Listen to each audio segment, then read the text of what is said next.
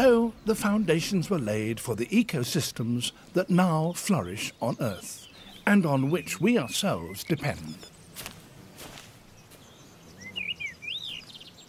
It has to be said, however, that sometimes some of us regard a few of these pioneers more as our enemies than our friends.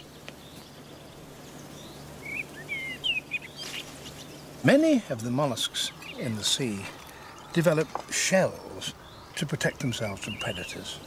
But on land, those shells serve just as well to keep the occupant nice and moist. So, without any major change to their anatomy, mollusks were able to creep up out of the water and graze in the forests of algae and mosses that were then spreading over the land. And given the right conditions, they still do.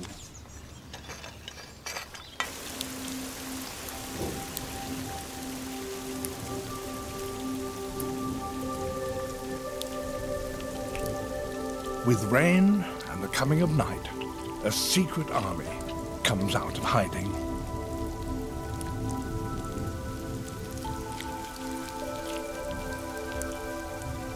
These are the conditions they like best.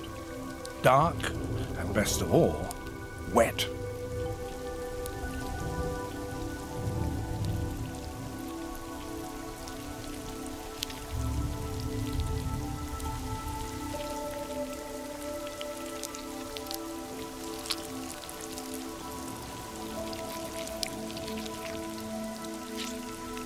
Gliding along a carpet of slime works just as well on land as it does underwater.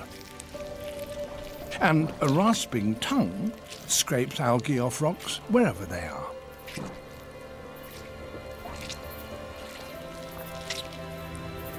In times of drought, snails may be unable to move around for months on end. So when conditions are right, they eagerly set off to find food. Their upper pair of tentacles carry those eyes with which they look around.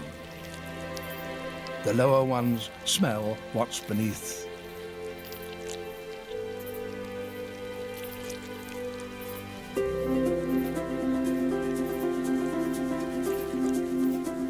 They breathe by means of a small pouch on the right-hand side of their body, just within the shell, which, because it's permanently moist, is able to absorb oxygen.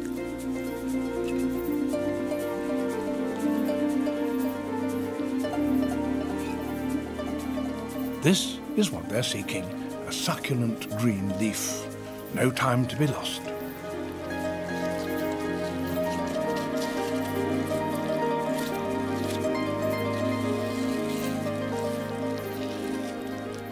Dawn will bring a change in conditions. So they have to return to their shelters and clamp down their shells once more so that they retain their moisture.